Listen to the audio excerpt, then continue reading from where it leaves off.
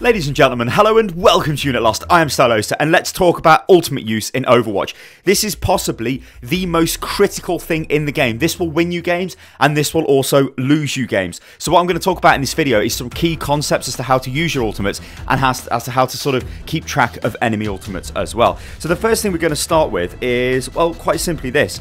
You need to track enemy ultimates. Now the way to do this is, well, by using your own ultimate. So let's say I'm playing Zarya, and I've got my ulti at 80% charge. But our team have lost the first two engagements. So maybe we were pushing on Gibraltar and we've been wiped out twice, but I've got 80% charge. That probably means if there is an enemy Zarya, she's going to have her Graviton Surge available. So what I'm going to say to my team is, guys, they've probably got their Grav or something like that, or their Zarya ulti's probably ready what that should mean to the team is don't clump together because we're going to get hit with Graviton Surge.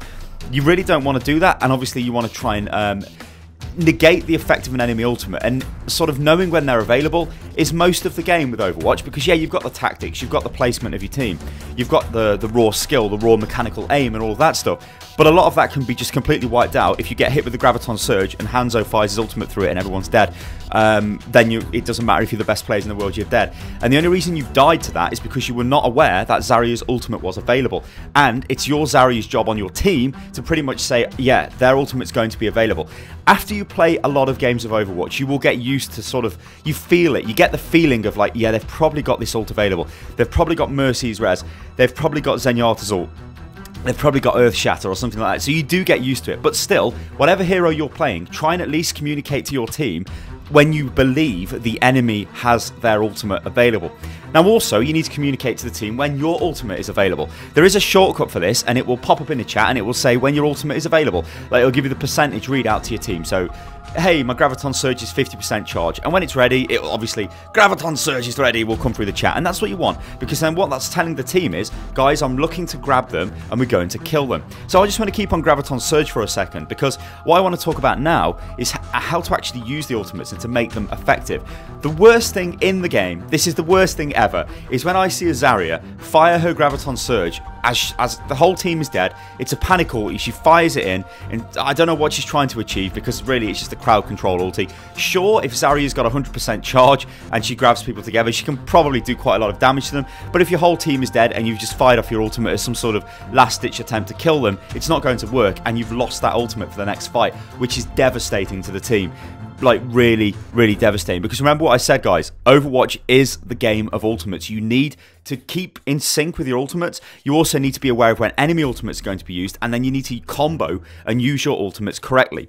So, talking on the combo issue, again, let's stay on Graviton Surge. So, if I've got Graviton Surge available and there is a Tracer on my team and she's got Pulse Bomb ready, Tracer can recharge Pulse Bomb really, really quick. She can do damage, she can get it up. um, but Zarya, she can't, right? It takes a long time for Zarya's ulti to come up, unless Zarya gets supercharged and she's killing everybody, in which case she can get hers pretty quick. What you would be looking to do in that situation is a very simple combo. You'd be looking to Graviton Surge them and Pulse Bomb them. That's going to do a ton of damage, like an absolute ton of damage. But it depends on the Zarya player getting a good Graviton Surge, where you want to pull multiple people together.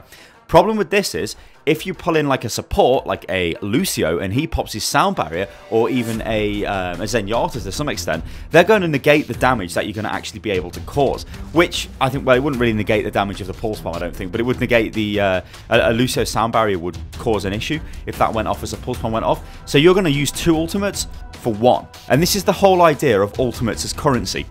You need to be spending less ultimates than the enemy team during fights, but winning the fights. If you do that, you will win Overwatch. You just you just win. You will absolutely win. I'm sure we've all been in games where you get snowballed, where you're you're They've, they always seem to have ultimates available. They're just killing your team every time you you engage.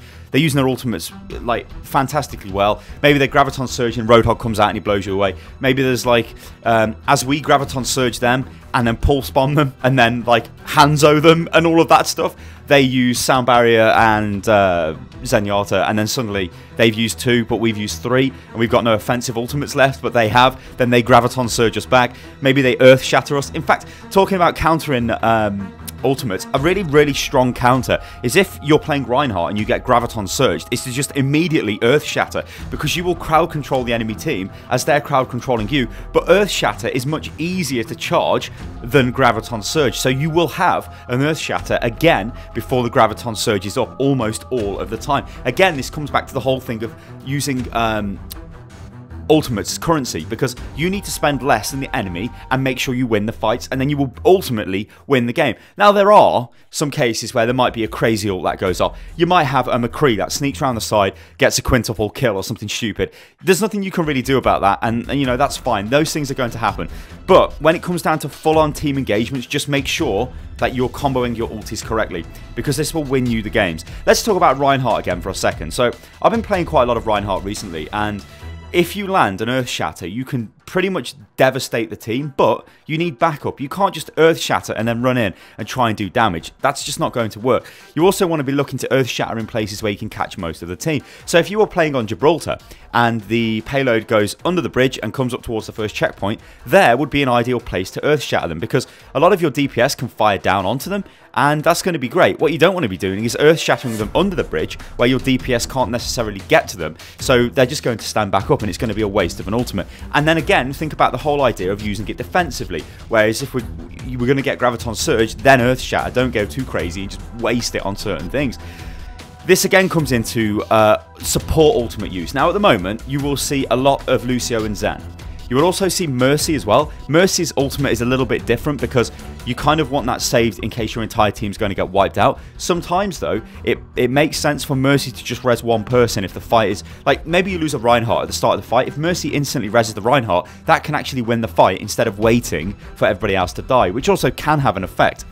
So if we talk about Lucio and Zenyatta, they both have arguably the same ultimate. It, I know it's not, but arguably it does the same thing. It's a support defensive ultimate that cancels out other ultimates. You will see Zenyatta, or if you are playing Zenyatta, you should be ulting when Genji ults your team, because Genji can't do anything. And Zenyatta can get his ulti up fairly quick as well. It doesn't really take too much time. Lucio's, I think, takes a little bit longer to charge. So what you'd be looking to do, if Genji ulted you and you're playing uh, Zenyatta, pop your ultimate straight away. If you get caught in Graviton Surge, Lucio will drop the beat straight away because you know there's going to be a follow-up. And most of the follow-ups Lucio can absorb with drop the beat. And that's again the sort of thing that you want to do. Alright guys, I'm going to leave this video at that. This has been sort of like an introduction to the idea of how to use your ultimates and where we can sort of go from there. What I want you guys to do is leave a comment below for things like ultimate combos and ways you keep track of your ultimate enemy ultimates and just ways ultimates have won games for you. I'm going to probably produce a more detailed guide in the future which will show absolutely every single combo, things that you should be looking out for. As I said, like I've give basic things in this, like you know, Graviton Surge, Pulse Bomb, a very simple combo. Always be looking to do that. If you're caught in a Graviton Surge and you're Lucio, drop the beat immediately because you know they're going to follow up with something or at least try to follow up with something.